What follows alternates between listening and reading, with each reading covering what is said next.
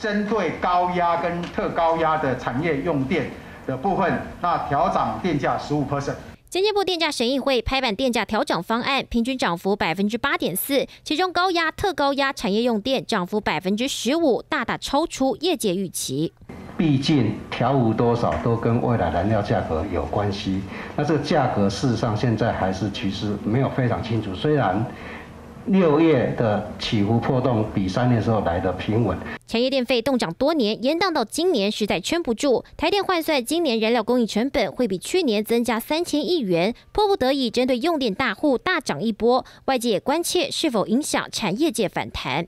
我们也跟台电跟中油非常担心他们撑不下去，这是一个事实，这个事实，所以我有个建议说，可不可以反正是。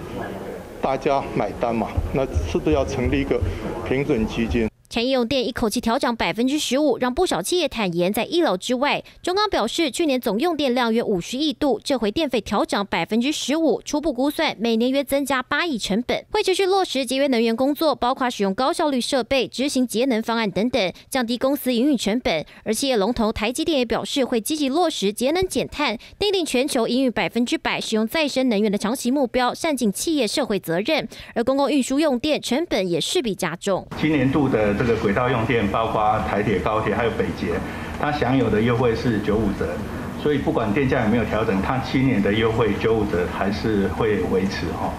七月一号费率起涨后，电力成本是否牵连票价跟涨？台铁、高铁都回应维持不变。电价费率也考量民生物价稳定性。住宅用电一千度以下，小商店跟低压用电，还有高压六大产业别，包括渔农、食品、百货、餐饮、电影院、健身房以及高中以下学校都不调整，盼能以最低影响限度降低台电亏损。三立新闻简玉林，特别是台北采访报道。